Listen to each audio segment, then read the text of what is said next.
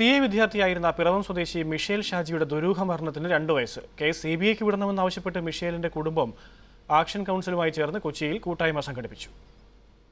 രണ്ടു വർഷം മുമ്പാണ് ഹോസ്റ്റലിൽ നിന്നും പുറത്തുപോയ മിഷേലിനെ കൊച്ചി കായലിൽ മരിച്ച നിലയിൽ കണ്ടെത്തിയത്.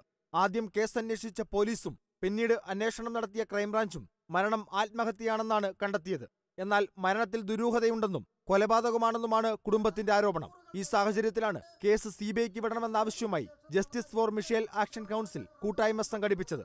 ഒരുപാട് നീതി നിഷേധം തുടക്ക സമയം മുതൽ ഉണ്ടായി ക്രൈംബ്രാഞ്ചിനെ ഈ കേസ് ഏൽപ്പിച്ചിട്ടുണ്ടെങ്കിൽ പോലും ആ കേസ് ക്ലോസ് ചെയ്ത രീതിയോ ഈ മാതാപിതാക്കൾ ഉന്നയിച്ച സംശയങ്ങളോ സാഹചര്യ തെളിവുകളോ ഒന്നും തന്നെ ഈ കേസിന്റെ ക്ലോഷറിൽ കാണാൻ സാധിക്കുന്നില്ല മണിക്കൂറുകൾ വെള്ളത്തിൽ കിടന്നെന്ന് പറയുമ്പോഴും മിഷേലിന്റെ മൃതദേഹത്തിൽ കാര്യമായ പരിക്കുകളില്ലായിരുന്നുവെന്നതാണ് സംഭവം കൊലപാതകമാണെന്ന സംശയത്തിന് കാരണമായി കുടുംബം പറയുന്നത്.